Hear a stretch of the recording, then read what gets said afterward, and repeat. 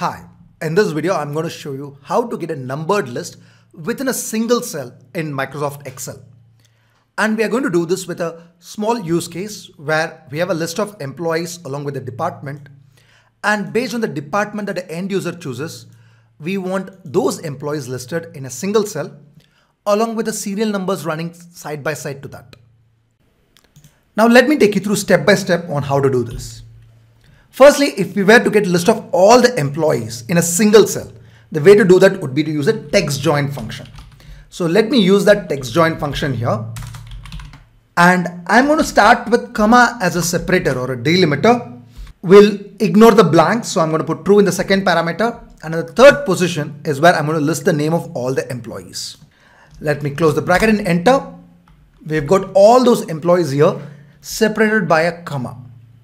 We don't want comma, we want serial numbers running. In order to do that, what I'm going to do is, I'm going to create a sequence of, let's say, right now let me choose a big number like 1000. I'm going to use a sequence function. The sequence function gives me a serial number running from 1 to 1000 and this comma. The comma is now still our separator. Uh, let me press enter now so now what you could see is that serial numbers coming in place. It's, so it's not just comma, we also have a serial number. I would like to break this line by line. In order to do that, I'm also going to concatenate before the sequence a line break and line break can be introduced with the character code 10. So char 10 will help us insert a line break. So let me type this, press enter. We've got the list spread into multiple lines. For this, we had to choose the wrap text option. If your cell does not have a wrap text enabled, then this will run into a single line as we saw here. So let me do a wrap text. Uh, instead of comma, I would like to see the brackets or closing parenthesis. So let me put a closing parenthesis in place of a comma. Looks fine, but the first name should have serial number one and subsequent ones should have serial number two. That's not happening here because the text join applies a delimiter only on the second one onwards. So let me do one thing. In the sequence function, let me add a few extra parameters. So we said we want 1000 numbers, a serial number running from 1000 of one column, so comma 1. And it should start at number 2, not at number 1. So let me put that comma 2 here, starting point. So this is also looking fine now. The only missing point is that we would like to see 1 coming in the first name. We don't have that yet. I'm going to do that by concatenating a static text called 1 because the first item is always going to have 1 in it. So let me put that first, concatenate that with the text join function. So this is what we have. The first item needs to have 1. So I've put that here. Subsequent ones should come in the next line. So I need a line break and they need to have a serial number, but should start at 2. I put the number as 1000 because 1000 is perhaps large enough. If you want, you can choose 10,000, 100,000, whatever. We want to ignore the blank cells and C9 to C22 is where our data is.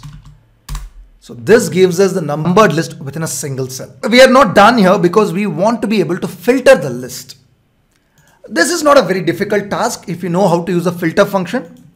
So I'm going to use the filter function here where I'm going to say I want C9 to C22 provided the department equals whatever is the department the end user has chosen here. And let me close it. So the filter function is going to automatically filter for those employees who are, let's say in the HR department. That's what is chosen here. And the delimiters that we have typed here is going to add the serial numbers and the line breaks. We have got the list. And I would also like to perhaps make it into a lambda so that end users don't have to type all these things again and again. So to create a lambda, what I'm going to do is for now, let me use the Excel lab facility, the Excel lab, and I'll go to the module section in workbook. Let me call this as numbered list. That's the name of my lambda that I'm giving here equals lambda for now, I would let the end users decide what kind of filtering they want to apply or whether they want to apply filtering at all. So I'm just going to say the end user going to give us values. And what we need to do is for all these values, we're going to apply the text join function. But firstly, we will have one and a closing parenthesis coming up. that will be concatenated with our text join function where the text join is going to be character 10 which is what we had typed earlier and we also need the serial numbers sequence of let's say 1000 comma 1 comma 2 and the closing parenthesis and a space so this is going to be our delimiter true the values to be concatenated is going to be the values so numbered list is going to be my name of the lambda. I could have chosen to do the filtering within the lambda itself. The lambda is not doing the filtering. I would like to let the end users do it because sometimes they may want to do filtering. Sometimes they just want all the cases. So I'm closing it as it is. So we earlier had this function where we had chosen it with the text join. But now that I've created the numbered list lambda, so let me apply that here equals numbered list. Let me apply the filter function inside this. I want the names provided the department equals technology and let me close the bracket. We've got this. Hope you found the video useful. If you want this lambda, the lambda is put in the comment section. You can go and copy it and apply that in your model as well. If you like this video, do share this video and do subscribe to our channel and don't forget to click on the like button. Thank you very much. Bye bye.